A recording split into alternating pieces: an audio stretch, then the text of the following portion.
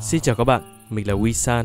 Và hôm nay chắc hẳn các bạn đang tự hỏi tại sao mình lại đứng ở trong một cái thế giới flat world đúng không? Thì cũng đơn giản thôi bởi vì mình muốn giới thiệu với các bạn một trong những cái mod rất là thú vị có tên gọi là Vending Machine.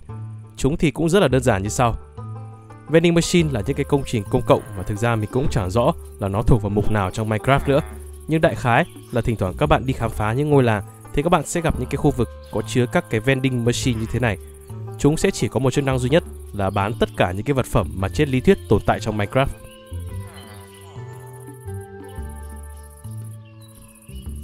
Về cơ bản thì chúng chia ra làm 3 mức độ cho độ hiếm của vật phẩm mà mình cũng không biết là nó dựa trên cái gì. Nhưng tóm lại là các bạn có thể mua được gần như mọi thứ với mức giá chỉ bao gồm là 1 emerald, 32 emerald và 64 emerald mà thôi. Quá là rẻ. Cái vending machine này trên lý thuyết có thể phá ra được bằng cuốc nếu các bạn chỉnh ở config Chúng không thể craft được mà chỉ có thể đi tìm được thôi. Để có thể phá được những cái vending machine này thì các bạn sẽ phải cần cái cuốc có mức độ kim cương trở lên và phải có seal touch thì mới phá được chúng và có thể đặt lại. Còn nếu không, các bạn sẽ chỉ thu được sắt thôi.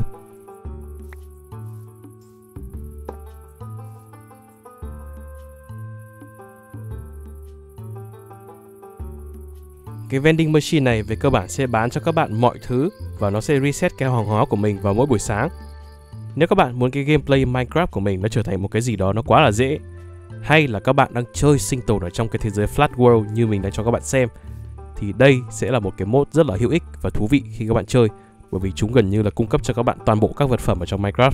Mình có cảm giác là chơi với cái mod này nó như kiểu các bạn bỏ tiền ra để mua những cái upgrade trong Stardew Valley ấy.